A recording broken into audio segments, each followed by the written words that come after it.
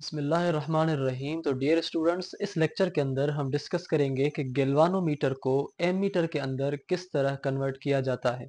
इंतहाई आसान है, जितना इसकी थ्योरी आसान है, उतनी ही उसकी डेरिवेशन आसान है।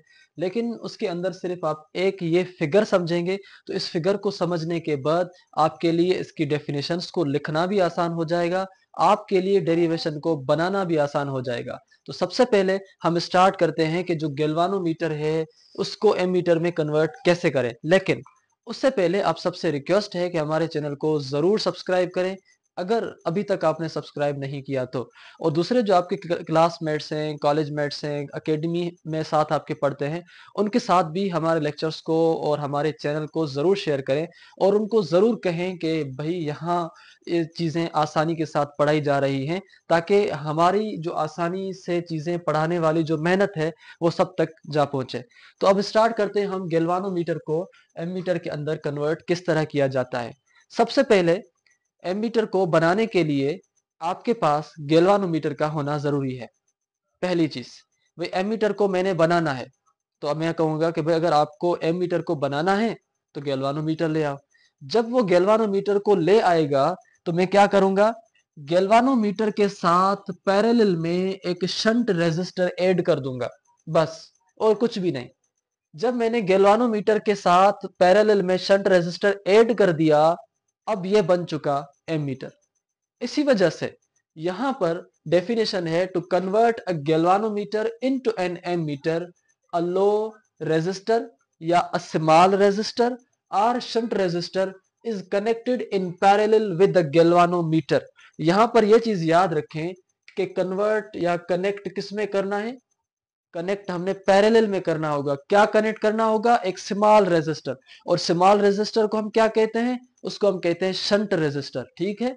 तो गैल्वानोमीटर के साथ जैसे ही आपने पैरेलल में आर एस यानी शंट रेजिस्टर कनेक्ट किया तो अब यह सारा बन चुका है एम मीटर, ठीक है?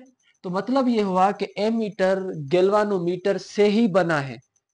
अब हम चलते हैं कि भाई आपने अगर ये एम मीटर किसी बड़ी रेंज का बनाना है या किसी छोटी रेंज का बनाना है। तो जितनी रेंज का आपने एम मीटर बनाना है, उतनी रेंज का आपने शंट रेजिस्टर लगाना होगा। इसी वजह से हमने लिखा कि range of shunt resistor is selected as the desired range of ammeter ammeter जितना हम चाहते हैं, जिस रेंज का हम एम मीटर चाहते हैं एम मीटर को देखकर, उसके हिसाब से हम गेल्वानोमीटर के साथ शंट रेजिस्टर लगाएँगे या शंट रेजिस्टर की रेंज उतनी मुकर करेंगे जितना हमें एम मीटर की रेंज रिक्वायर्ड है। तो अब यहाँ तक तो हो गई सिंपल चीज़ या आप कहें कि थ्योरी अब हम चलते हैं कि इसको जब आपने कन्वर्ट किया तो इसके अंदर ये सारी चीज़ें हो कैसे रही हैं? देखें जी, यहाँ से करंट आ रहा है और ये करंट किसमें आ रहा है? गेलवानोमीटर के अंदर आ रहा है। और ये करंट गेलवानोमीटर से बाहर निकल रहा है, ठीक? अब यहाँ से देखें, गेलवानोमीटर के साथ आपने पैरेलल में क्या टच किया है, क्या कनेक्ट किया है? Shunt resistor. ज़ाहिर सी बात है, जब ये करंट आएगा यहाँ तक, जैसे ये करंट आपका यहाँ पहुंचेगा इस जगह, अब ये करंट कुछ चला जाएगा इधर और कुछ चला जाएगा इधर। इसका मतलब ये हुआ कि जो टोटल करंट है आपका वो डिवाइड हुआ दो हिस्सों में। एक हिस्सा है उसका आई जी और दूसरा हिस्सा है उसका आई एस यानी एक करंट आपका आई जी में चला गया, दूसरा करंट आपका इस शंट रेजिस्टर के पास चला गया। यहाँ एक और चीज़ समझे कि भाई ये जो आपके पास टोटल करंट था, इस करंट में से गेलवानोमीटर का करंट निकाल लेंगे, जो करंट बचेगा वो करंट शंट रेजिस्टर के पास आएगा। मिसाल के तौर पर इसको थोड़ा आप ऐसे समझे, यहाँ अगर 10 एम्पेयर करंट था तो 5 एम्पेयर करंट यहाँ मिसाल के ऊपर चला गया तो अब इसके पास कितना पहुँचा? आप कहेंगे कि भाई 10 माइनस फाइव दस किसका है? आय का है, और 5 किसका है? आई जी का है। 10 माइनस फाइव यानी आई माइनस आई जी वो किसके बराबर होगा? वो बराबर होगा आई एस के, यानी वो करंट आई एस के पास जा रहा है। ठीक है, यहाँ तक आई होप आपको बात समझ आई। तो अब ये जो करंट है, ये डिवाइड हुआ, जितना करंट बचा वो इतना है। आई माइनस आई जी जितना करंट बचा, यानी फाइव एम्पेयर बचा और वो कहाँ आया? इस शंट रेजिस्टर के पास आया। ठीक है, अब जो करंट शंट रेजिस्टर यानी आर एस में आएगा, उस करंट को हम आई एस कहेंगे। जो करंट गेलवानोमीटर में जाएगा, हम उसको करंट आई जी कहेंगे। जो वोल्टेज इस गेलवानोमीटर का होगा, उसको हम वी जी कहेंगे। जो वोल्टेज इस शंट रेजिस्टर का होगा, हम उसको वी एस कहेंगे। ठीक है? ये भी चीज़ें हैं जो हमने यहाँ नहीं लिखी, लेकिन यहाँ पर हैं। और जो करंट गेलवानोमीटर का होगा, वो आई जी यहाँ तक आई आपको बात समझ आ गई।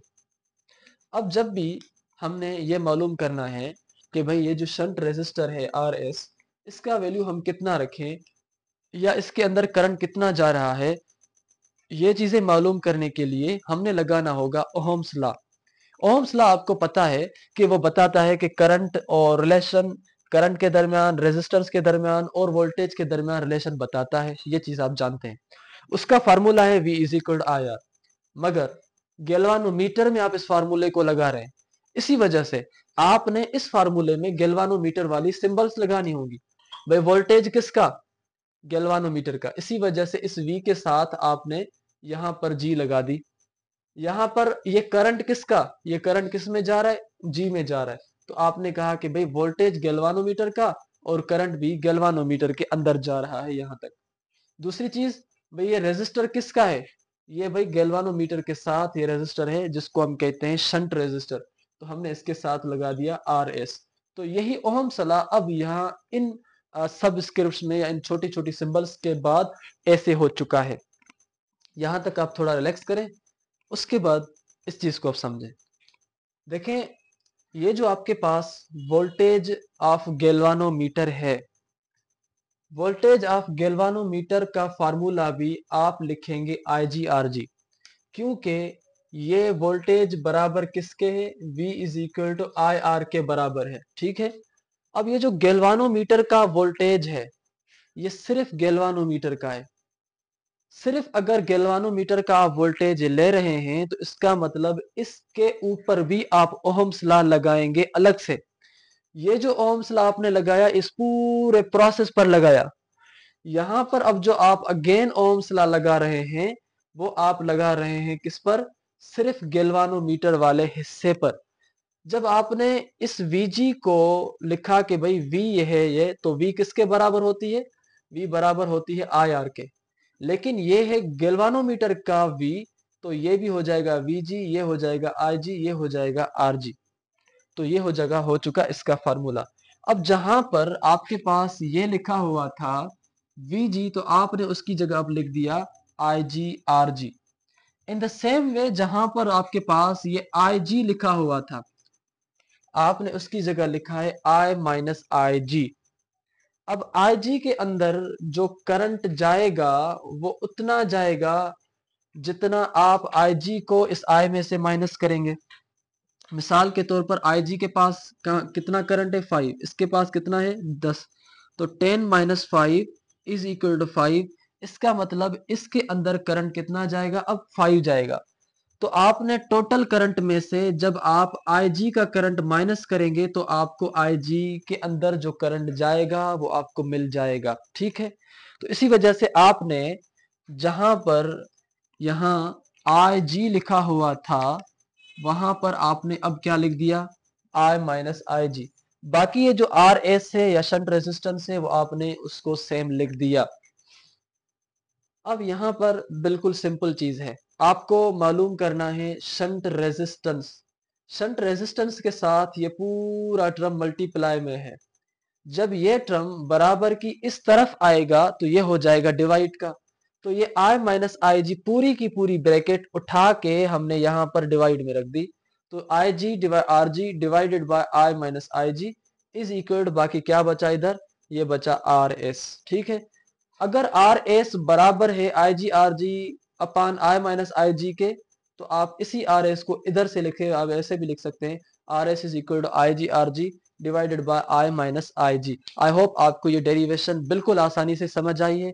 मैं यकीन से कह सकता हूँ, इसी वजह से आप हमें कमेंट के तौर पर ज़रूर फीडबैक दें और साथ साथ में जो दूसरे आपके दोस्त हैं, उनको ज़रूर रिकमेंड करें और मिलेंगे नए वीडियो में, तब तक दीजिएगा इजाज़त, अल्लाह हाफिज़।